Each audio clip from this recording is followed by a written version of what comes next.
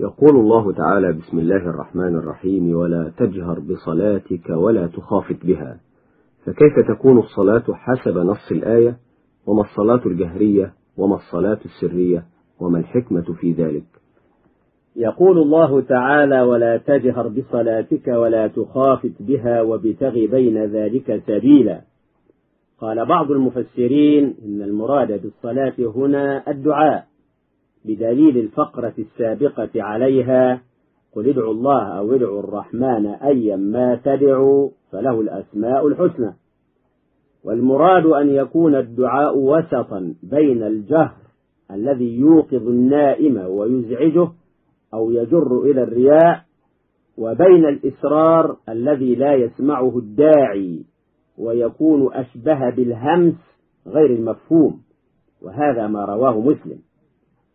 وأخرج البخاري ومسلم أن هذه الآية نزلت ورسول الله صلى الله عليه وسلم متوار بمكة وكان إذا صلى بأصحابه ورفع صوته بالقرآن فإذا سمع المشركون سبوا القرآن ومن أنزله ومن جاء به فقال الله تعالى ولا تجهر بصلاتك فيسمع المشركون قراءتك ولا تخافت بها عن أصحابك. أي أسمعهم القرآن ولا تجهر ذلك الجهر وابتغي بين ذلك سبيلا هو بين الجهر والمخافة.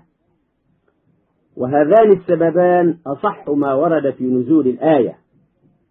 وروى أحمد وأبو داود أن رسول الله صلى الله عليه وسلم مر ليلة بأبي بكر وهو يصلي يخفض صوته ومر بعمر وهو يصلي رافعا صوته فلما اجتمع عند رسول الله صلى الله عليه وسلم قال يا أبا بكر مررت بك وأنت تصلي تخفض صوتك.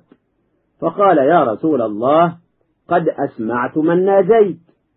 وقال لعمر مررت بك وأنت تصلي رافعا صوتك؟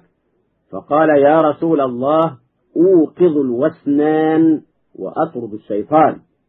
فقال صلى الله عليه وسلم يا أبا بكر ارفع من صوتك شيئا.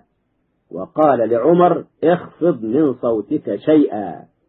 ولعل هذه الحادثة كانت بعد نزول الآية فأراد النبي صلى الله عليه وسلم أن يرشدهما إلى تطبيقها. أما الصلاة المفروضة التي يجهر فيها فهي الصبح والجمعة والركعتان الأوليان من المغرب والعشاء والتي يسر فيها ما عدا ذلك وهي الظهر والعصر والركعة الثالثة من المغرب والركعتان الأخيرتان من العشاء. والجهر يكون في قراءة الفاتحة وفي السورة أو الآية التي تليها. أما الأذكار والأدعية فيها فهي سرية إلا في قنوت الصبح والذي يجهر هو المنفرد وكذا الإمام. أما المأموم وهو يسر أبدا في قراءته. والحكمة في السر في الصلاة ما كان عليه الحال في مكة من إيذاء المشركين لمن كانوا يصلون ويجهرون بالقراءة فيها. وكانت الصلاة ركعتين ركعتين. فبقيت في السفر على ذلك وزيدت في الحضر. والكفار كانوا مشغولين عن المصلين قبل طلوع الشمس لأنهم نائمون. فبقي الجهر في صلاة الصبح كما كان. وكذلك كانوا مشغولين بعد غروب الشمس بالنوم أو السهر الخاص فبقي الجهر في المغرب والعشاء كما كان. وصلاة الظهر وصلاة العصر في وضح النهار فشرع السر فيهما خشية إيذاء الكفار. أما الجمعة فشرعت صلاتها في المدينة أو بعد الهجرة. وكان شرعها بقوله تعالى يا أيها الذين آمنوا إذا نودي للصلاة من يوم الجمعة فاسعوا إلى ذكر الله وذروا البيع. والنداء لها وللصلوات الأخرى بالأذان شرع في المدينة.